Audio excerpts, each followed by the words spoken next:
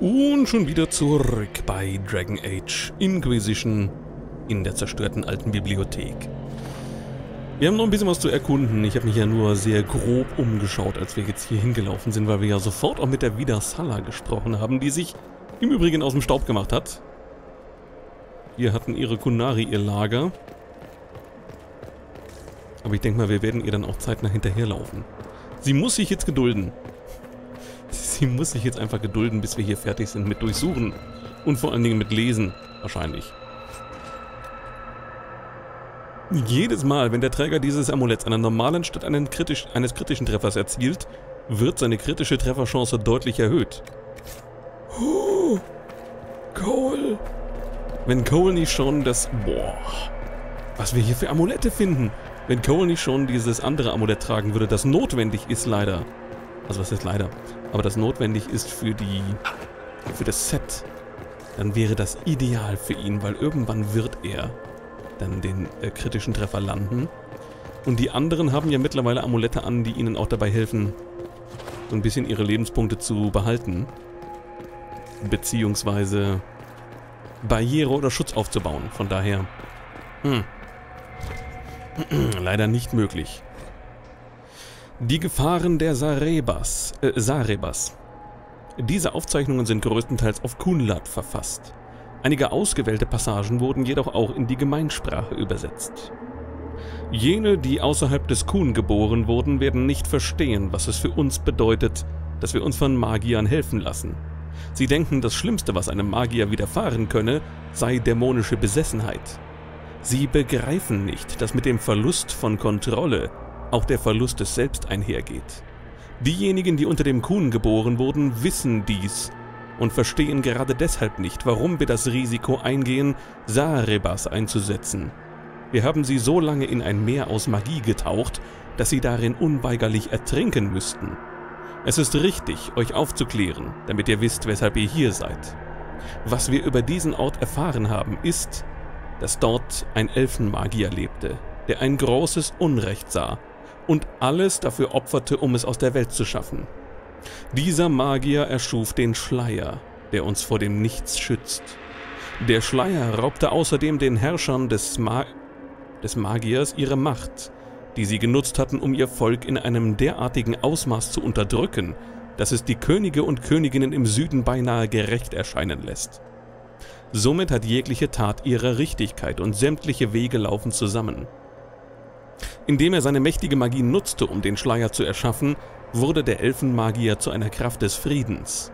Und nun, da wir bereit sind, an diesen Ort vorzudringen, können wir womöglich herausfinden, wie wir den Schleier mit Hilfe unserer eigenen Magier noch weiter stärken können. Für dieses Ziel setzen wir unser Leben aufs Spiel. Die Sarebas, die sich uns angeschlossen haben, wissen von den Gefahren und haben ihre Wahl getroffen. Vergesst nicht die Worte des Ashkari Koslun. Existenz ist eine Wahl. Es gibt kein Chaos in der Welt, nur Komplexität. Die Erkenntnis des Komplexen führt zum Verstehen. Aus dem Verständnis für die Welt erwächst das Verständnis für das Selbst. Das Meistern des Selbst führt zum Meistern der Welt. Der Verlust des Selbst ist der Ursprung allen Leids. Leid ist eine Wahl und wir können uns ihm verweigern. Es liegt in unserer Macht, die Welt zu erschaffen oder sie zu vernichten. Um Frieden zu schaffen, werden wir jegliche Schrecken auf uns nehmen. Wir werden eine neue, sichere Welt erschaffen oder die alte vernichten.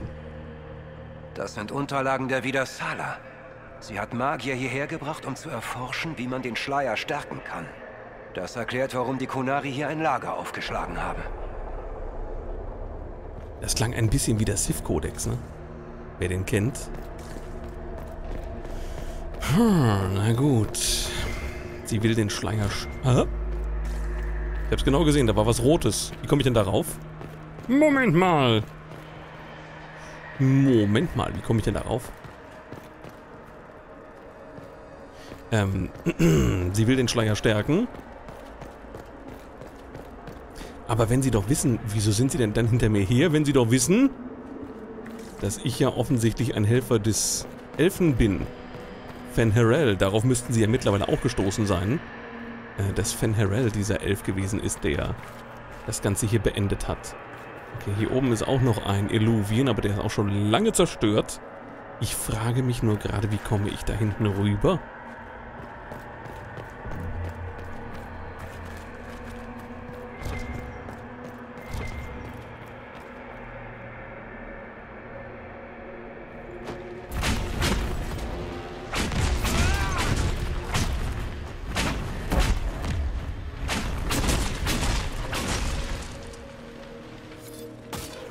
So nicht.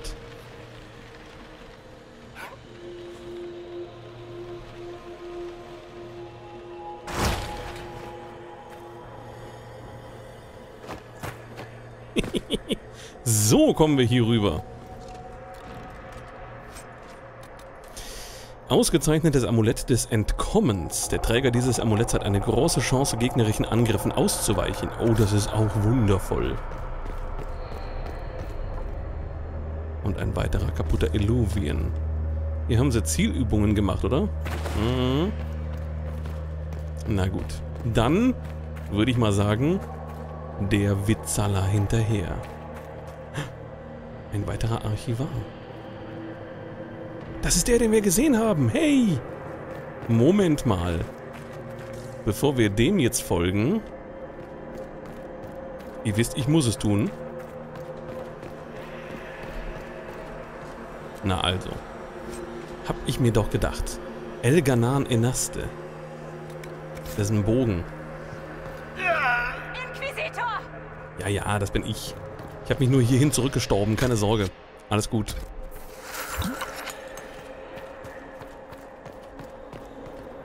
Besucher, Gäste, willkommen. Die Hallen stehen euch offen. Könnt ihr mir sagen, wohin eine Kunari gegangen ist, die man die Vidasala nennt? Ja, wir haben viel erfahren. Obwohl sie der irrigen Überzeugung war, wir könnten nichts hören.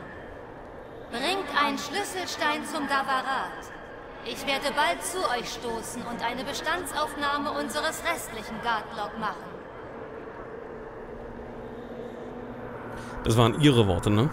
Ich habe bei einem der Kunari einen Schlüsselstein gefunden. Ja, und ihr braucht die Worte für ihren Schlüssel. Maras Nera. Er leuchtet. Er wird den Weg zum Davarat öffnen.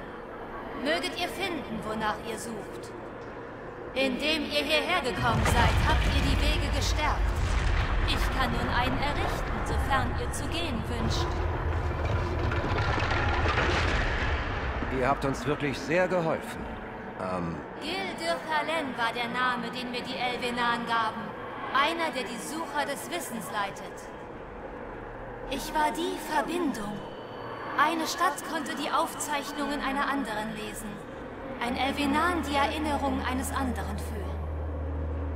Als der Schleier über uns fiel, stellte ich das Ende all ihres Wissens dar. Wir müssen diesen Davarat finden und die Vidasala aufhalten. Es tut mir irgendwie ein bisschen leid für, für diesen Archivar, was auch immer er genau ist oder sie. Spricht er mit vielen Stimmen. Ähm, hier für immer an diese zerstörte Bibliothek gebunden zu sein, die wahrscheinlich in vielen, vielen Jahrtausenden niemand mehr besuchen wird außer uns. Und die Erinnerung daran zu behüten, was hier alles schiefgelaufen ist.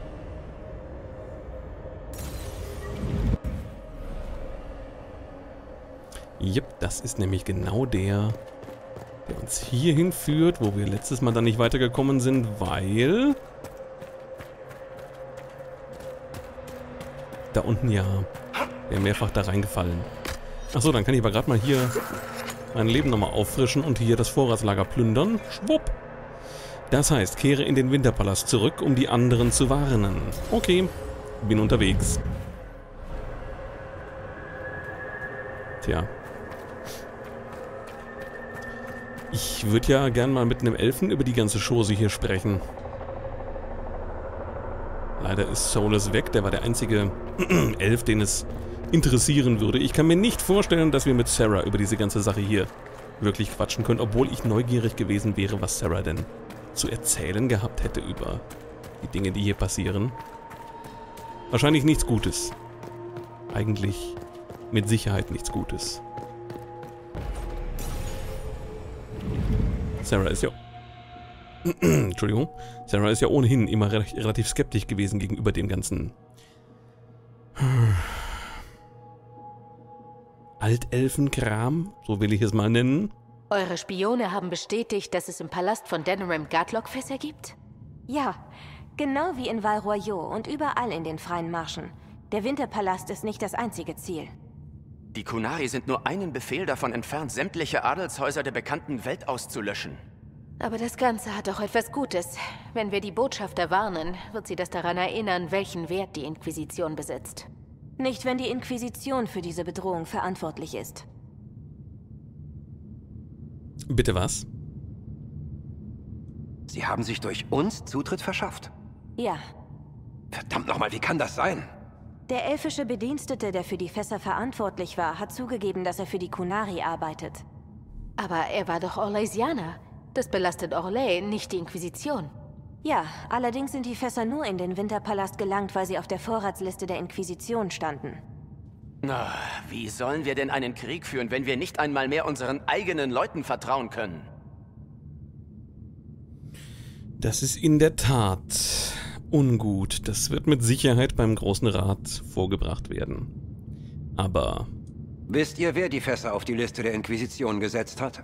Ja, mehrere elfische Arbeiter der Inquisition sind verschwunden. Ich habe ihre Vergangenheit überprüfen lassen. Sie hatten sich der Inquisition angeschlossen, nachdem sie dem Chaos in Kirkwall entkommen waren. Ich weiß noch, wie Kirkwall zu seinen schlimmsten Zeiten war. Viele der Elfen dort sind auf der Suche nach einem besseren Leben zum Kuhn konvertiert. Und die Kunari haben Spione aus ihnen gemacht. Tja. Was können wir nun aber dafür? Die Kunari scheinen ja überall, in ganz Thedas, also im ganzen Süden von Thedas, in jedem Haus Spione zu haben, die diese Gardlock-Fässer überall deponieren, als wären wir jetzt da die besondere Ausnahme. Also wer da ohne Schuld ist, werfe den ersten Stein. Was geschehen ist, lässt sich nicht mehr ändern. Wir können lediglich entscheiden, wie wir jetzt damit umgehen. Ich habe die Inquisition im erhabenen Rat verteidigt. Und wofür? Damit wir jene, die wir angeblich beschützen, täuschen und bedrohen? Sobald wir die Spione... Es geht nicht um die Spione. Ihr habt den toten Kunari versteckt. Ihr habt den Winterpalast quasi übernommen. Wir haben das Richtige getan, nicht das politisch Vorteilhafte. Wisst ihr überhaupt, was uns das gekostet hat? Orley und Ferelden planen in diesem Moment, uns aufzulösen. Und vielleicht sogar zu Recht. Oh!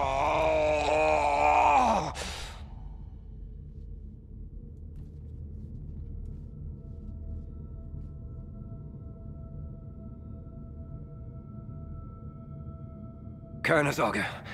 Es ist wieder vorbei. Aber uns bleibt nicht sonderlich viel Zeit. Ich muss zum Davarat. Danke, Inquisitor. Sollen wir... Sollen wir den erhabenen Rat über die Gefahr informieren? Ja. Falls wir scheitern, muss der erhabene Rat wissen, was geschehen ist. Ich sorge persönlich dafür. Leliana, ich kann Nein, eure Aufgabe ist ohnehin schon schwer genug. Ich übernehme es. Ich postiere am Illuvien Wachen für den Fall, dass die Kunari den Palast angreifen. Der Erbauer sei mit euch. Oh, das war jetzt schnell. Der Erbauer sei mit euch. Wupp, weg. Nun. Ich, diese politischen Ränke, ich kann, ich kann Josephine ja verstehen. Und ja, wir haben hier einiges... Es ist keiner mehr da. Äh, wir haben hier einiges in Beschlag genommen und haben ja auch mehr oder weniger gesagt, dass wir hier bei der Wache, haben wir ja auch gesagt, das regeln wir. Geht weg.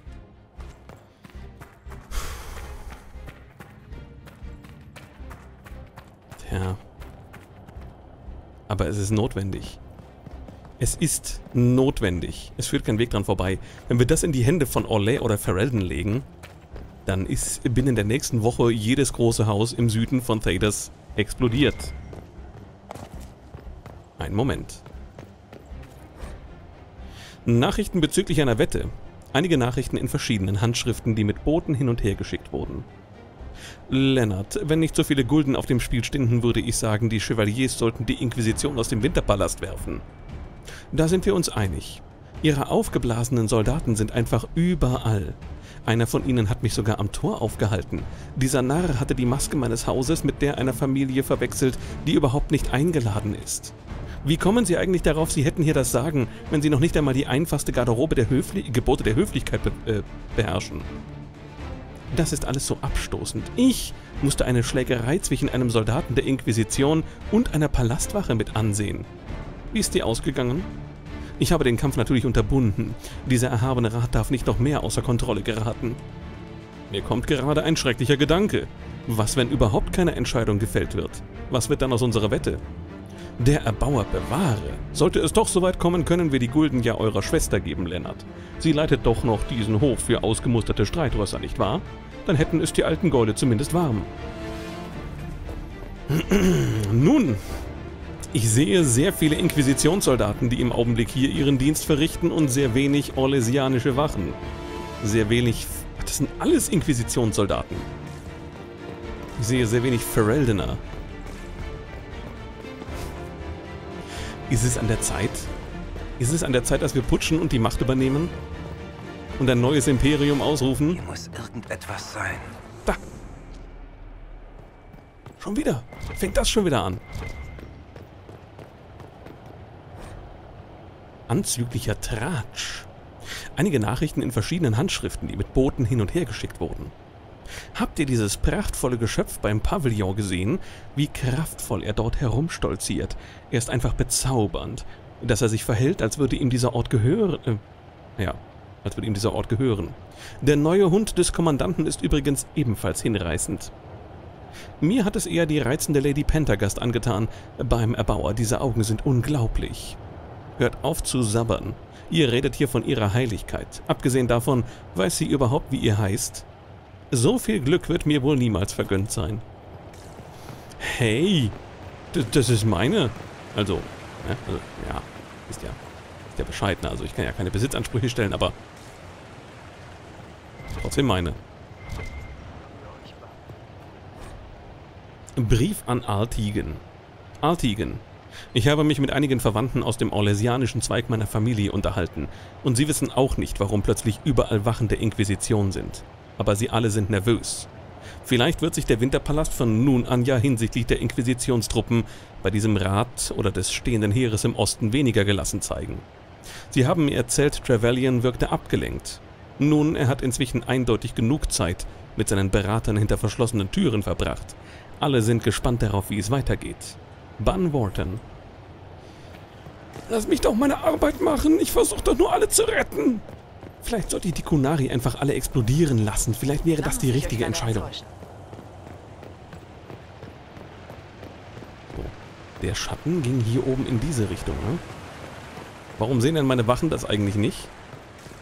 Passen die Wachen nicht gut genug auf?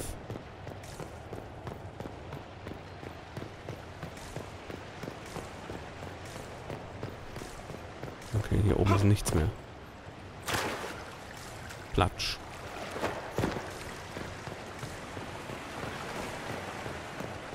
Das heißt, ich müsste jetzt eigentlich nochmal rumlaufen. Ach, guck mal da. Nochmal rumlaufen und nochmal nach dem äh, Harlekin suchen. Ein ruiniertes Picknick. Kennel. Nun, da ihr es erwähnt habt, diese Elfin in der Taverne kommt mir tatsächlich bekannt vor. Aber ich wüsste nicht, wieso sie auf der Hochzeit eurer Base gewesen sein sollte. Vielleicht war sie ja eine der Bediensteten, die sich um Herzog Verne gekümmert haben, nachdem er bei seinem Picknick im Schlamm ausgerutscht und in dieses Wespennest gestürzt ist beim Erbauer. Ich weiß noch immer nicht genau, wie das geschehen konnte. Ich weiß, wie das geschehen konnte. Ich habe so eine Ahnung, wenn es um Sarah geht. Na? Habe ich noch welche? Huch! Was denn jetzt?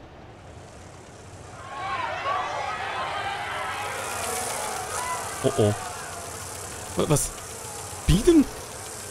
Warum? Keule der Gold- und Ebenholzkönigin. Was? Was? Bei erzieltem Treffer Chance, dem Ziel Bienen hinzuzufügen. Das hat er geholt? Das hat er geholt. Der Hund. Wahrscheinlich als Dank für die ganzen Knochen. Braver Hund. So ein braver Hund.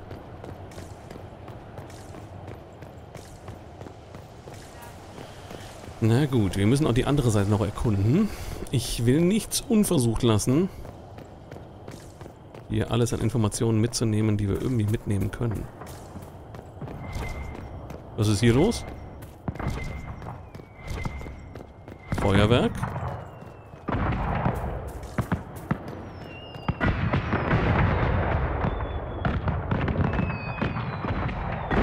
Feuerwerk.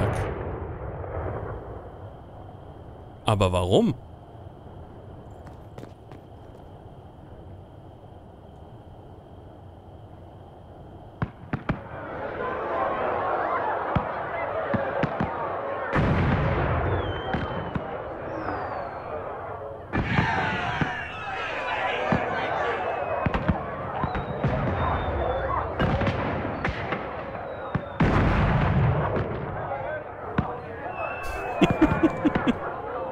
Ach, wie schön. Wir können selber sprengen.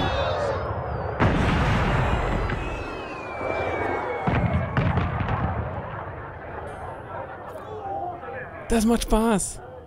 Das macht voll Spaß.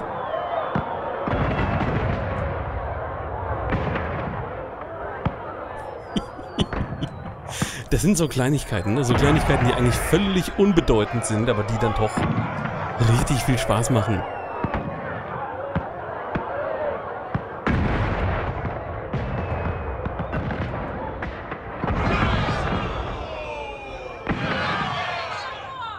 Und wie sie sich freuen da unten. Na gut, genug Schabernack. Aber man kann hier jetzt wahrscheinlich nichts mehr sehen, ne? Wow. Ja doch. In der Ferne noch so ein bisschen. Wird es ein bisschen heller, wenn man durch das Fernrohr guckt. Okay, aber ich glaube, hier ist nichts mehr. Das ist Charter und da liegt noch ein Brief.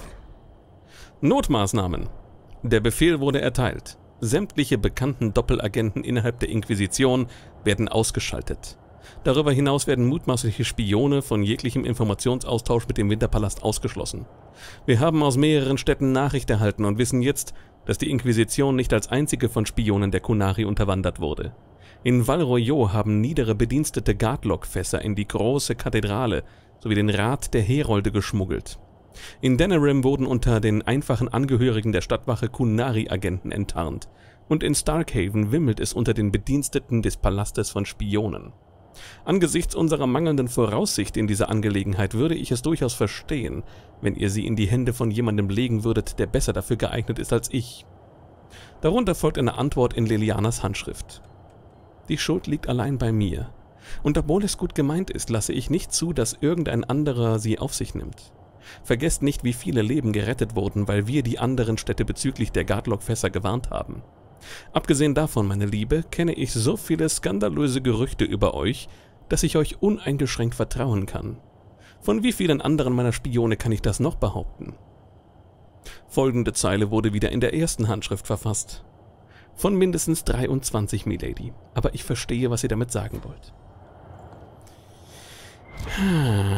Na gut, na gut. Schade, alles cool? Schön euch zu sehen, Euer Gnaden. Okay, alles cool.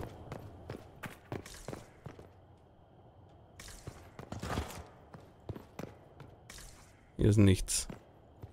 Was für ein schmuckes, prachtvolles Bild. Von einem Ritter und seinem riesigen Horn. Ihr wisst, was ich meine. Ach, Tränke auffüllen. Warte mal. Äh, hier, ausrüsten. Zack. Blab, blab, blab. Das werden wir mal wieder voll machen hier, das, was wir verbraucht haben. Ja, aber das war zum Glück nicht äh, viel. Ach so, ich wollte mal gucken gerade. Jetzt, wo wir gerade hier sind, der eiserne Bulle. Äh, das ist eine Einhandwaffe, dieser Knüppel, ne? Mieser Betrüger. Das ist natürlich ein schickes Schild. Reif ist ein Schwert. Da. es ist tatsächlich eine Keule mit einem Bienenkorb oben dran.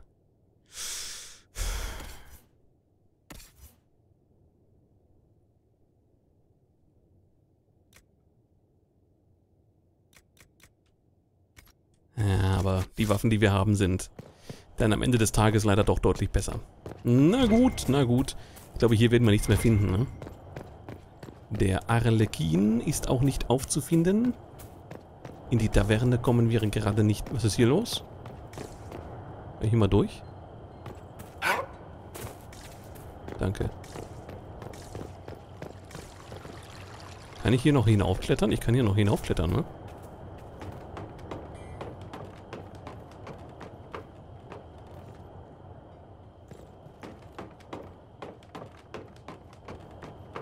Weiß nicht, ob uns das viel bringt. Das war ja der erste Illuvien, den wir dann gefunden hatten. Ich will gründlich sein, ne? Ich will nicht, nicht aus Versehen an irgendwas vorbeilaufen, weil wir gerade dann jetzt zum Schluss meinen, wir müssten hier nochmal durchhetzen. Was ist denn das für ein krasser Stuhl? Wer macht denn sowas? Ich will auch so einen Stuhl. Ich will so einen Stuhl für den PC hier. Da wäre ich sehr glücklich. Hier oben auf dem Balkon ist auch nichts. Nee. Na gut. Na gut. Oh mein Gott. Guten Tag. Hat hoffentlich keiner gesehen. So, in die Taverne kommen wir aber nicht rein, ne? Da stehen Wachen davor. Hier stehen ganz viele Leute, die natürlich. Ah, doch, wir kommen rein. Natürlich beobachten, was hier so los ist. Unsere Leute sind alle weg mittlerweile. Ja, das ist Sarahs Kram, den wir irgendwie dauerhaft lesen können. Immer und immer wieder. Gut, mehr gibt es tatsächlich jetzt gerade nicht zu sehen, wenn ich nicht ganz falsch liege. Das heißt, für uns zurück durch den Illuvien. Das ist aber wirklich irgendwie übel, dass jetzt hier überall unsere Wachen rumstehen. Das ist, äh, hm. Ach, warte mal. Waren wir hier oben schon?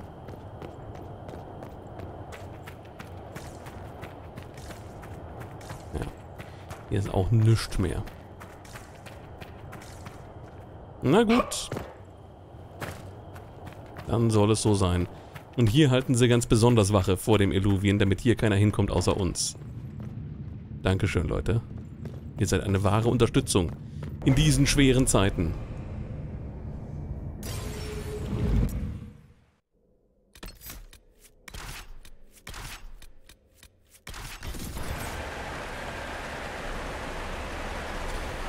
So.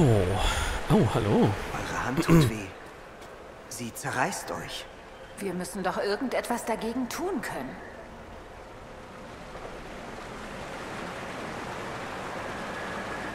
Was auch immer geschieht. Ich würde unsere gemeinsamen Jahre gegen nichts in der Welt eintauschen wollen. Ich liebe euch. Und ich liebe euch. Jetzt und für alle Zeiten. Wir haben geholfen. Wir alle. Ich werde es nicht vergessen. Genießt meine Gegenwart, solange ihr noch könnt. Ich vermute, ihr alle werdet mich später schrecklich vermissen. Dorian. Warum klingt das gerade so, als würden wir hier alle sterben? Ich glaube nicht, dass es soweit ist. Oder vielmehr, ich will nicht glauben, dass es soweit ist. So, wir können ja jetzt eigentlich nur diesem Weg hier folgen, den wir schon gegangen sind und gucken, ob sich da oben vielleicht irgendwas Neues aufgetan hat. Wo wir als nächstes hinschreiten könnten. Da vorne, da waren wir ja schon. Das haben wir uns angeguckt.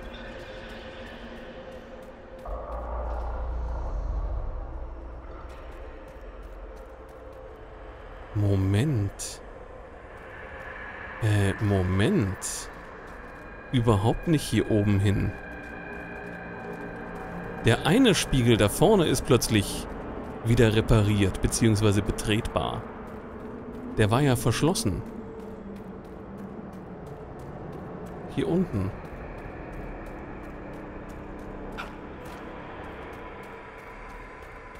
Ich mag das nicht, dass das so klingt, als würde jetzt Alex sterben. Ich meine, es wäre die Tradition. Jeden einzelnen Dragon Age Charakter haben wir bisher erfolgreich umgebracht. Aber ich mag es nicht, dass es so klingt, als würde das jetzt in Kürze so sein. Wenn ich mir eigentlich wünschen würde, dass er noch ein langes Leben mit Cassandra hat. Ja, dieser Spiegel ist es denn nun. Also dann, macht euch bereit. Oh, wir sind bereit. Bereiter, als man nicht sein kann. Aber, und ich weiß, ihr habt schon befürchtet, das gucken wir uns in der nächsten Folge an. Und darum bedanke ich mich erstmal fürs Zuschauen bis hierhin. Ich hoffe, ihr seid beim nächsten Mal auch wieder mit dabei. Und ich sage einfach mal bis gleich. Tschüss.